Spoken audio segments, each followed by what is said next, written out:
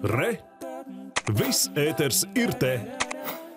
Un šonadēļ arī kādam Reizeknes Olimpiskā centra viesnīcas klientam konstatēta saslimšana ar covid-19.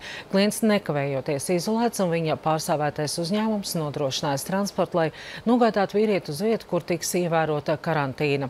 Viesnīca pilnībā dezinficēta un turpina darbu, un no Reizeknes ziņos Latgales reģionālā televīzija. Saņemot zvanu par to, ka viesnīcā Restarta atrodas Vācijas pilsonis ar pozitīviem Covid-19 analīžu rezultātiem, uzreiz tika izpildītas visas epidemiologu norādes, informēta pašvaldība un slimnīca. Līdz ar viesnīcu šeit atrodas arī kafejnīca, āra peldbaseins un notiek bērnu nometnes. Par iestādes slēgšanu negribam pat domāt, uzsver Olimpiskā centra Rēzekne valdes locekle Jekaterina Meirāne.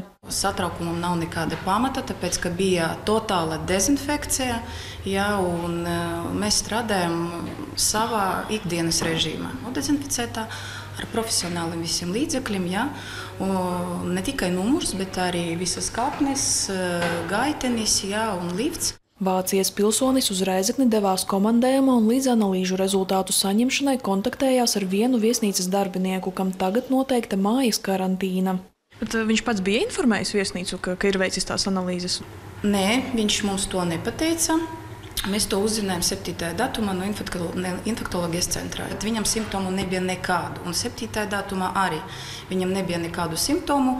Viņš bija no paša rīta savā numurā. Un uzreiz viņš bija izolēts. Viņš nekomunicēja ne ar vienu darbinieku. Viņš komunicēja 6. datumā tikai ar mūsu administratoru. Saņemts arī priekšlikums veikt viesa izolēšanu uz 14 dienām turpat viesnīcā, tomēr izvērtējot riskus un iepriekš minēto papildus pakalpojumu daudzumu, nolemts atbildību nodot uzņēmumam, kurā vācietis veids darba pienākumus. Konkrētu uzņēmuma nosaukumu un darbības virzienu datu aizsardzības dēļ pašvaldība neatklāja. Mūsu mērķis bija lai šī cilvēka nebūtu viesnīca, jo mums ir simtprocentīga noslodze, ir viesi, turisti, jā, arī cilvēki, kuri ir komandējumā. Varu pateikt paldies tam uzņēmumam, kurš parūpējas par to, ka viņš 7. datumā jau nebija jau 5. vakarā mūsu viesnīca. Pieaugot Covid-19 saslimšanas gadījumiem, slimību profilakses un kontroles centrs atklājis, ka vairums cilvēku inficējas sabiedriskās vietās un pasākumos privātās draugu kompānijās.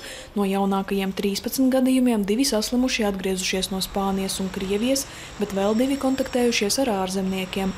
Turpmāk lielāku piesardzību ievērot aicina arī viesnīcas pārstāvji. No šīs situācijas vispār nu, nav, neviens nav nodrošināts. Mm -hmm. Mēs varam saslimt jebkurā vietā, sabiedriskā transportā, jebkurā supermarketā, jā, veikalā. SPKC telefona intervijā norāda, ka tuvākajā laikā iespējams tiks pārskatīti ierobežojošie pasākumi un plašāka informācija par to pastiprināšanu vai atstāšanu tagadējā režīmā sekos jau pavisam drīz. Ausmas Prukta Vitālijas Duda Renoks Latgals reģionālā televīzija.